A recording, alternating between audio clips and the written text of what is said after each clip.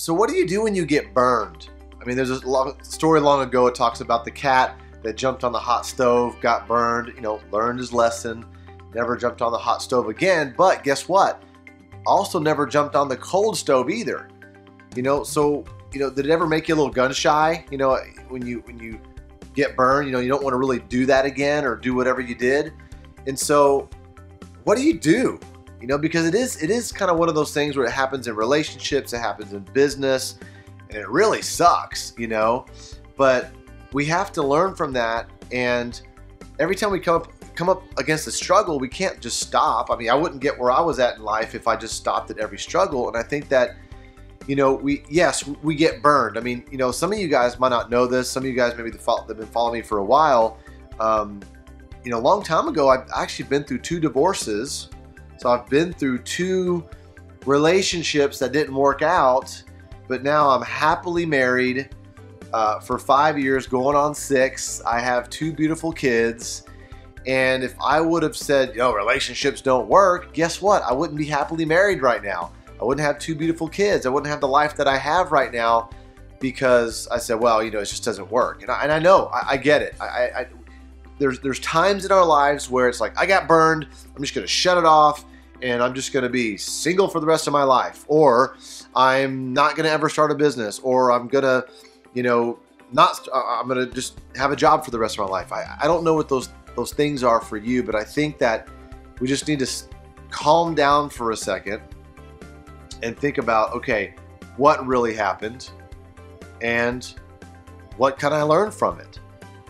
And then, you know, can I live to fight another day? Because I think that the more struggle you go through and the lessons that you learn, you're able to help more people and give back more. I mean, heck, you know, maybe you don't have kids, but when you do have kids, you're to be able to share with them these stories because guess what? Our kids are to have struggles too, right? And obviously, if you have kids now, that's something that you could share with them, whether that's now or maybe later on when they get a little older. But I think it's part of life.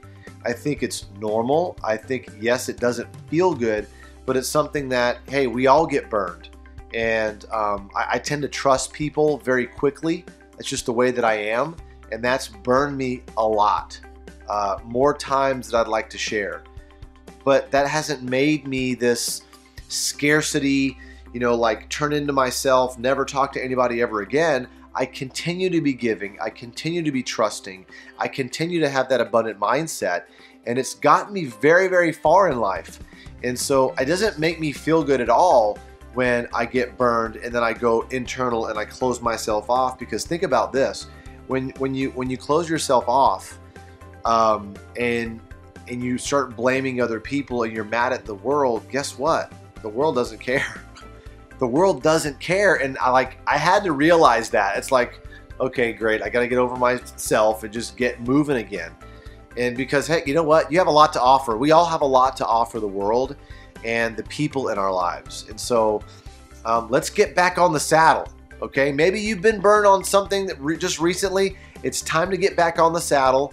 You know, if you have to have a conversation with somebody, have that conversation have that crucial conversation, set those boundaries, right? So that doesn't happen again, but it's time for you to get back on the saddle and do what you're supposed to do to get your life where it needs to get to, right? So I hope this helps you arrive at your next intended destination healthy, wealthy, and happy.